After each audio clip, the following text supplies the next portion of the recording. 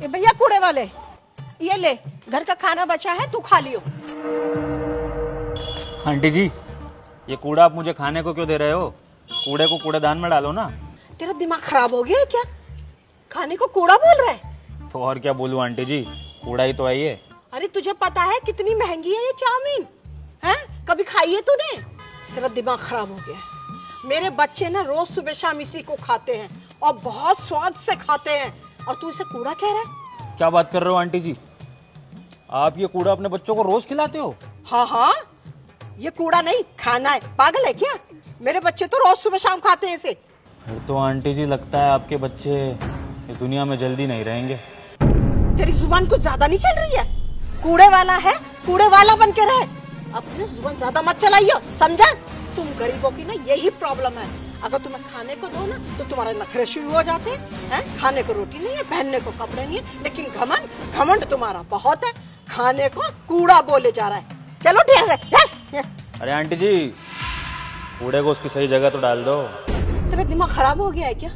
है? तू बार बार कूड़ा बोले जा रहा है। तू एक बात बता तू इसे कूड़ा क्यों बोल रहा है? क्या है ना आंटी जी मेरे भाई की प्राइवेट नौकरी लगी थी शहर से बाहर। तो घर का खाना तो मिलना नहीं था उसे। तो वो रोज़ दिन में आपके ये मोमोज, चाउमीन, ये सब खाता था वो, जिसकी वजह से उसको कैंसर हो गया। और वो अब इस दुनिया में ही नहीं रहा। इसीलिए मेरे और मेरे घर वालों के लिए ना, ये सारा खाना कूड़े से कम नहीं है।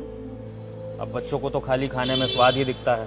उन्हें तो नहीं समझ में आता ना कि ये खाना उनके लिए कितना नुकसानदायक हो सकता है। लेकिन आप तो माँ हो।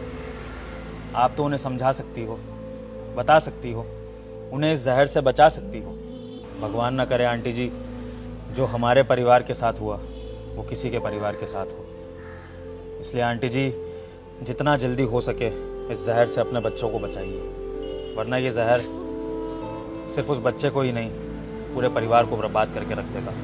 जैसे हमारा परिवार हो गया, मेरे भाई के बिना। हे भगवान, मैं अपने बच्चों को ये सब खिलाकर बीमार कर रही थी। आज के बाद ना मैं भी अपने बच्चों को नहीं खिलाऊँगी। और तू सच कह रहा है, आज से मैं अपने बच्चों को ना अपने हाथ का खाना खिलाऊँगी। उनको छूने तक नहीं दूँगी।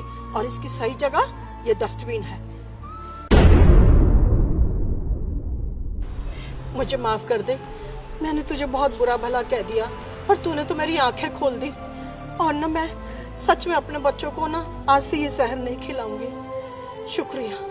और हाँ आंटी जी सिर्फ़ अपने बच्चों को ही नहीं दूसरों के बच्चों को भी समझाना अपने रिश्तेदारों दोस्तों अपने समाज में सबको ये बताना ताकि हर कोई इस जहर से बच सके और घर का ही खाना खाए और सब स्वस्थ रहें। सही कहा। मैं ज़रूर समझाऊँगी।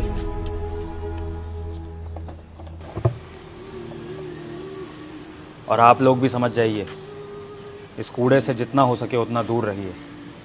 स्वाद के लिए तो आप लोग भी ये सब खाना खाते होंगे, लेकिन आज आपको स्वाद मिल रहा है।